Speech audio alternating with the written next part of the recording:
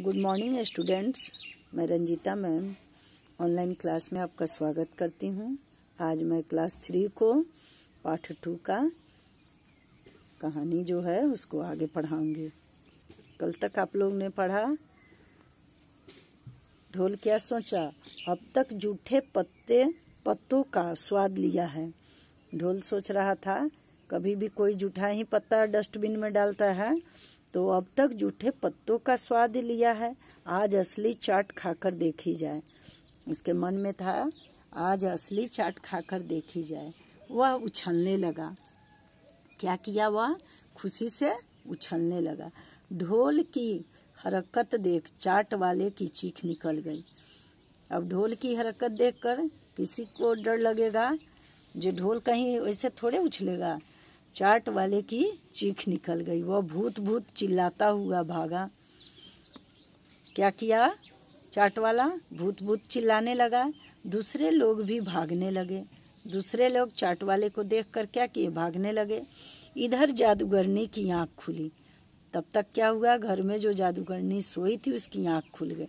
उसने चरपाई के नीचे जूतियों को टटोला। सबसे पहले उसने क्या किया? अपने चरपाई के नीचे अपनी जूतियों को देखा, पर जूतियाँ वहाँ नहीं थी। क्या हुआ? वहाँ जूतियाँ नहीं थी। वह इधर उधर ढूँढने लगी। क्या की इधर उधर खोजने लगी। तभी उसे कूड़े के ढोल का ध्यान आया। तब तक उसको याद आया जो यहाँ पर एक कूड़े का हम ढोल रखे थे। सामने नज़र पड़ी तो देखा कि कूड़े का ढोल गायब है। जहाँ ढोल रहता था, वहाँ से ढोल गायब है। जादूगरनी सोच में पड़ गई। अब उसको क्या हुआ? चिंता हुआ। उसने ध्यान से दरवाजे की ओर देखा। उसने क्या किया? ध्यान से दरवाजे के तरफ़ देखा। ज़मीन पर जूतिया के निशान थे। ज़मीन पर जूतियों के निशान थे। पल भर में वह सारी बात समझ गई।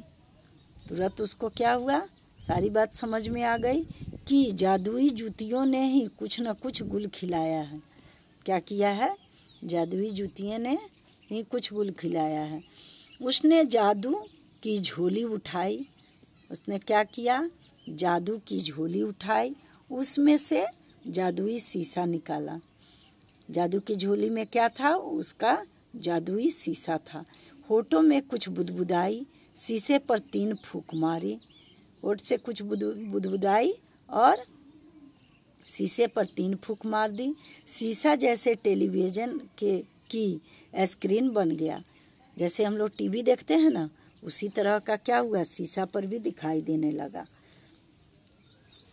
ढोल जहाँ जहाँ से गुजर रहा था, ढोल जहाँ जहाँ से गुजर रहा था और जो जो कर रहा था, जो काम कर रहा था, सारा कुछ शीशे में दिखाई देने लगा।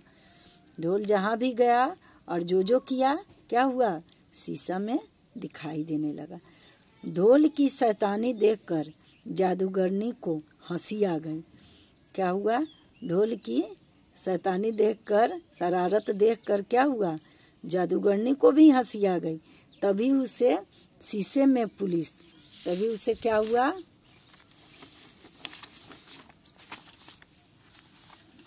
शीशे में पुलिस की गाड़ी दिखाई दी।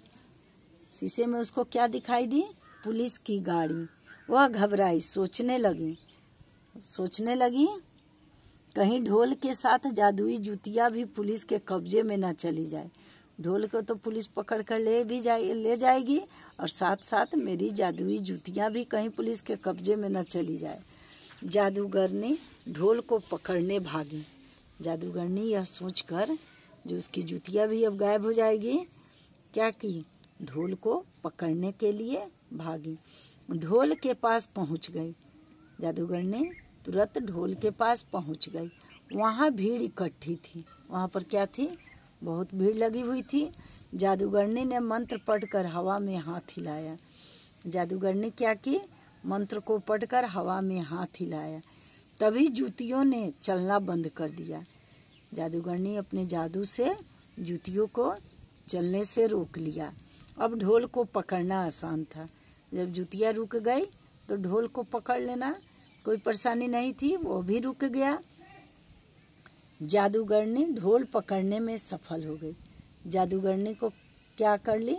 ढोल को पकड़ने में सफल हो गई। सभी लोग चिल्लाए। सभी लोग चिल्लाने लगे। ढोल पकड़ा गया। ढोल क्यों क्या हुआ? पकड़ लिया गया। वह किसी तरह खींच कर ढोल को घर लाई। जादूगर ने क्या की किसी तरह ढोल को पकड़कर घर लाई। जादुई जूतियों को उठाकर झोले में रखा।